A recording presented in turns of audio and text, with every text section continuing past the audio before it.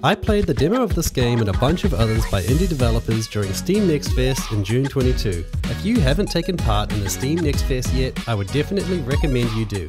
Keep an eye out next month for the February Next Fest 2023 so you can get a taste of gems like this before they release.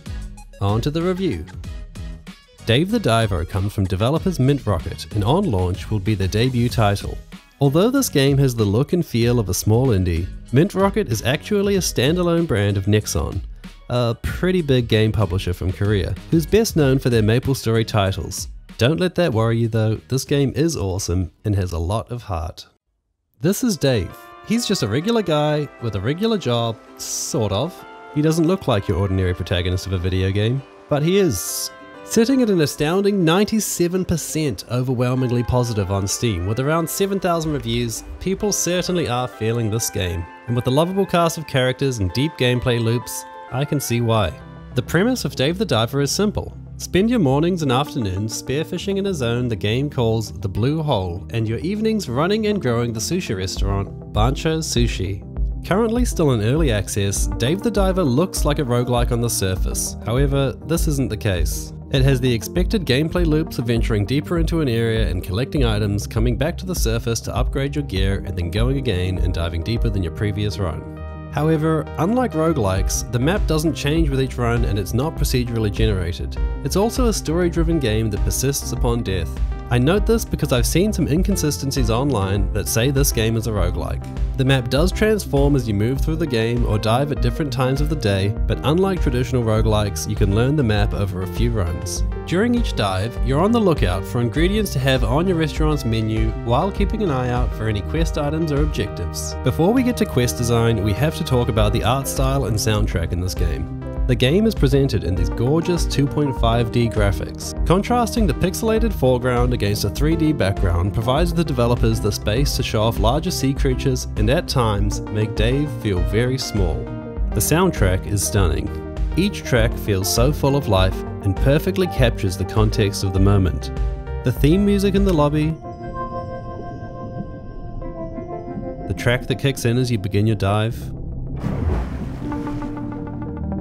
all tying together in harmony with what you see on the screen.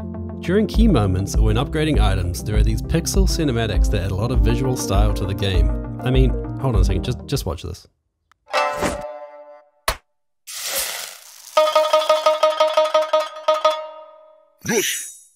For story, there is a main quest line that runs through the vein of this game, and other quests that are generally given to you through side character introductions, who come into the restaurant looking for a specific dish or come chat to you on the boat.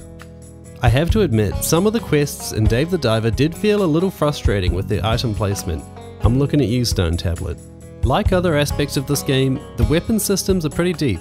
There is a decent variety of melee weapons, ranged guns, and explosives. Alongside this is an upgrade tree that you can follow to increase the stats of your arsenal. There's also an extra item slot that you can use for utility items such as extra oxygen, underwater scooters, or explosive mines. With combat, you must keep in mind the different weapons to use, as these will affect the rank of the meat when fishing. Do you take the larger gun down, in case you come across dangerous or hardy sea creatures that require extra firepower? Or do you take the non-lethal approach, so you have better quality meat for the sushi? The better the quality, the higher your profits that evening. When night falls, the second part of this game comes to life, a restaurant management sim. But don't be fooled, this isn't tacked on. I was truly surprised at the depth during the restaurant part of this game. There was a lot more on offer here than I'd initially thought. With fast paced gameplay and different mechanics that keep it fresh, you take care of curating the menu at Bancho's Sushi. During dinner service, you wait tables, pour drinks, and grind wasabi in a style that feels very much like a 2D version of Overcooked. With options to run recruiting ads and select and hire staff, all of which, by the way, have different stats determining how they perform in the restaurant. They have a different set of skills that unlock as you pay to train them up, or you can use that same gold to purchase cosmetic upgrades for the shop. As you master dinner service, you learn new recipes and upgrade the food that you serve. The developers over at Mint Rocket have done an excellent job at providing a cozy and sometimes chaotic aesthetic to your restaurant. It has a dynamic menu hanging above the bar which lets you see your stock levels in real time during service. Throughout the game, you will bring your restaurant to social media fame through the game's very own social app called Cooksta. Which rewards you as you climb higher into the ranks. Top tiers such as Platinum and Diamond are currently locked during early access and will release on launch. During dinner service, side characters come in and give you tasks to complete, usually a specific dish they want served. Speaking of characters, the cast in this game are so likeable. They're larger than life and all have unique personalities behind them. New characters are introduced often to drive the story forward and provide objectives for you to focus on. Characters range from climate activists, researchers, food critics, and more, all pushing you to uncover the secrets of the Blue Hole, while gaining fame for Bancho Sushi. You can tell the writers here put a lot of effort into trying to make the dialogue light and humorous. It did feel a bit dramatic and a little much at times, but the levity fits the style they're going for. So as far as the dialogue's concerned, mileage may vary. Above the water, you navigate the world of Dave the Diver using a boat and your smartphone. The boat connects you to both Blue Hole and Bancho Sushi, and the phone connects you to your shops for gear upgrades, weapon crafting, and your social app Cooksta, as well as a ton of other apps that provide context for the game world. The settings menu in this game was lightweight and there wasn't a lot of options to be changed. There's actually no ability to change the keybinds, which would have been nice to have. I played this game using a keyboard and mouse and I found that the menu navigation did feel clunky at times. It almost felt like the menus had been built with a controller in mind. The scrolling with the mouse wheel wasn't an option, but that might be hotfixed in a future patch. With that aside, this game was a really unique experience in a bit of a niche genre. I have a feeling Dave the Diver will end up having a really special place in the hearts of the people who play it, and I'm glad I came across it.